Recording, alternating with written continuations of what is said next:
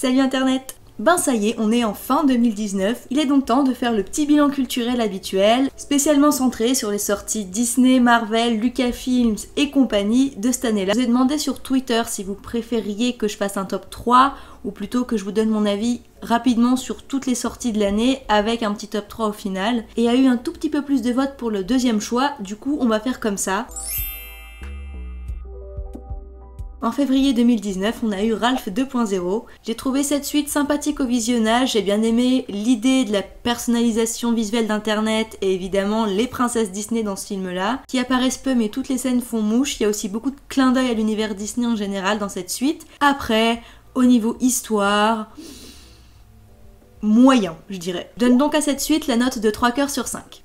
En mars 2019, on a eu Captain Marvel, que j'ai personnellement beaucoup apprécié. Après, ça reste un film de super-héros ultra classique dans le genre, aucune surprise. Mais le fait que ce soit une femme en lead ça faisait un petit peu d'air frais chez Marvel et ça a permis d'amener quelques petites morales par-ci par-là que j'ai trouvé assez sympathiques. Et puis j'aime bien le personnage de Carol, donc personnellement, j'ai bien aimé Captain Marvel, je lui mettrai la note de 3,5 sur 5. Du côté de Disney, en mars, on a aussi eu Dumbo, qui pour moi est un des flops de l'année. C'est un remake que j'ai trouvé vraiment fade et sans saveur comparé à l'original. Le scénario est hyper creux, il n'y a rien qui est développé comme il faut, enfin, ou du moins largement pas assez pour certains points. C'est c'est peut-être beau visuellement et Dumbo est incroyablement trop mignon, mais à part ça, franchement, euh, remake vraiment sans saveur pour moi. En avril, on a eu la conclusion des Avengers avec Endgame, Conclusion qui m'aura vraiment bouleversée, j'ai mis plus d'une semaine à m'en remettre. Et même s'il y a des petits défauts par-ci par-là, franchement, moi je trouve que c'est quand même un bon Avengers, même si Infinity War reste, je pense, mon préféré. Endgame vient juste derrière. C'était quand même un très beau final auquel je mettrais la note de 4 cœurs sur 5. Le même mois, on a également eu le décom Kim Possible. Visuellement, il est juste top au niveau des costumes, des décors et tout ça, il a rien à redire, surtout les costumes, genre je veux vraiment les tenues. Mais l'histoire et les personnages, oh mon dieu, je pensais pas qu'on pouvait foirer un remake de Kim Possible, il y a quand même plein de trucs à prendre de cette saga animée. Mais si, donc euh, pour moi c'est carrément un cœur sur 5, c'est un film décom à oublier très largement.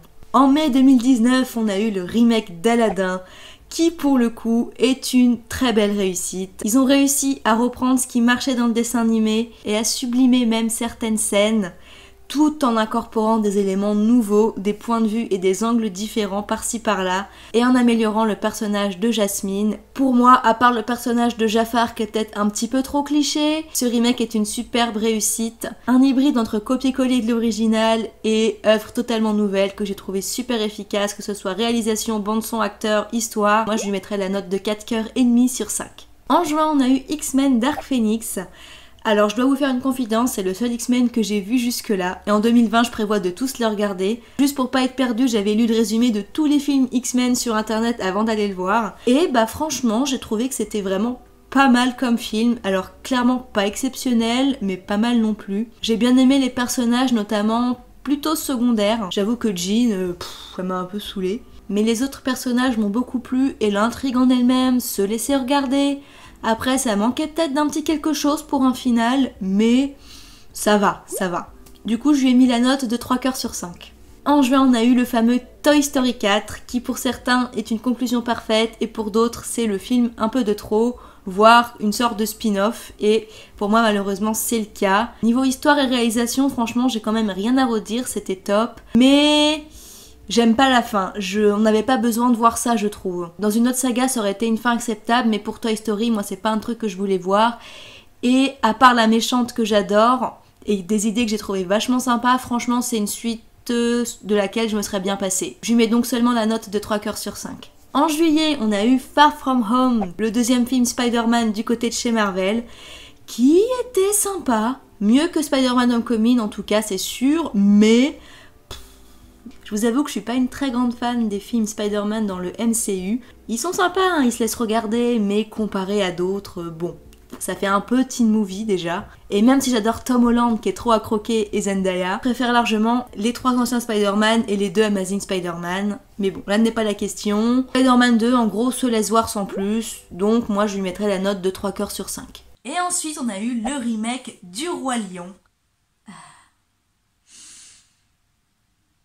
Voilà.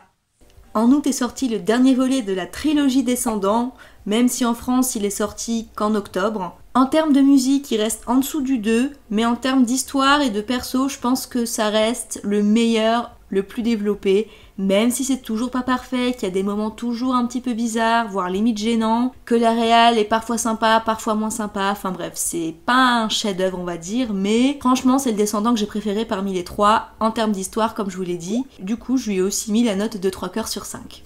Côté cinéma, on a aussi eu Maléfique 2, au moins ces films Disney slash à moitié remake ont pour eux le fait d'être des histoires totalement originales. Après, vous savez peut-être que je suis pas une grande fan de Maléfique et j'avoue que ce deuxième film, je le préfère au premier, mais franchement, il a pas fait mouche non plus. Il y a plein de trucs qui m'ont agacé, que ce soit personnage ou élément de l'histoire. Il y a des trucs aussi, des, faux raccords, assemblages qui m'ont qui m'ont énervé visuellement. Euh, cette suite, je lui mets vraiment 2 cœurs et demi sur 5. Je suis désolée, mais même si c'était beau visuellement et que j'adore Angelina Jolie dans ce personnage-là, qui d'ailleurs est plus pour moi une maléfique alternative que la vraie maléfique, mais bon. Voilà, 2 cœurs et demi sur 5, pas plus. En novembre, on a eu La Reine des Neiges 2. Je dois dire que c'est une suite que j'ai préférée au premier film, en termes d'histoire et de développement de personnages. Après, j'avoue que quelques moments sont assez creux et qu'en termes de musique, c'est bien mais toutes les chansons sont pas exceptionnelles non plus. Visuellement, il est incroyable, j'ai quand même beaucoup ri. Et il y a un petit peu d'émotion aussi. C'est une suite vraiment sympathique pour moi, du coup je lui mettrai la note correcte de 3 cœurs et demi sur 5.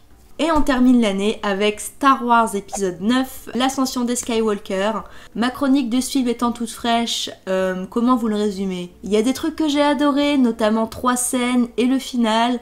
Il y a des trucs qui m'ont largement saoulé, que j'ai trouvé trop long et beaucoup trop abusé. Du coup, je suis complètement dans l'entre-deux avec cet épisode. Donc je pense que je vais lui mettre la note. J'hésite entre 3 quarts sur 5 ou 3 quarts et demi. Du coup, si je devais vous faire un petit podium Disney et compagnie de 2019, je pense que je mettrais en troisième position La Reine des Neiges 2, en deuxième position Avengers Endgame et en première position le remake d'Aladdin qui pour moi reste la plus jolie réussite de 2019. Et pourtant je ne l'attendais pas du tout au tournant, ça je peux vous le dire. Du moins j'ai commencé à y croire seulement quand ils ont casté Naomi Scott dans le rôle de Jasmine. Et d'ailleurs même si j'adore Show Yourself slash Je te cherche dans La Reine des Neiges 2, pour moi, la chanson Disney de 2019, ça reste quand même Parler ou Speechless, comme vous voulez, de Jasmine dans Aladdin, clairement. J'ai donc fait mon petit tour des sorties Disney et compagnie de cette année-là. J'espère que ça vous a plu et qu'en termes de format vous avez trouvé ça convenable, ni trop long ni trop court. N'hésitez pas à me partager en commentaire quel est votre film Disney chouchou de 2019 ou Marvel ou Lucasfilm. Hein. Et si vous avez aussi des flops, n'hésitez pas à me le dire. Discutons dans les commentaires, c'est fait pour ça. Je vous mettrai en barre d'infos les liens sur toutes les chroniques que j'ai pu faire des films dont je vous ai parlé en vidéo ou en article de blog si jamais ça vous intéresse. En tout cas, j'espère qu'en 2020 vous serez aussi au rendez-vous poursuivre mes chroniques et avis cinéma et que vous-même vous suivrez ces sorties peut-être de votre côté ou pas. En tout cas, j'ai hâte de vivre et de partager tout ça avec vous. Je sais pas quand sort cette vidéo, du coup, au cas où je vous souhaite joyeux Noël ou bonne année, mais je pense qu'elle va sortir avant 2020 quand même. Allez, allez, ciao et gros bisous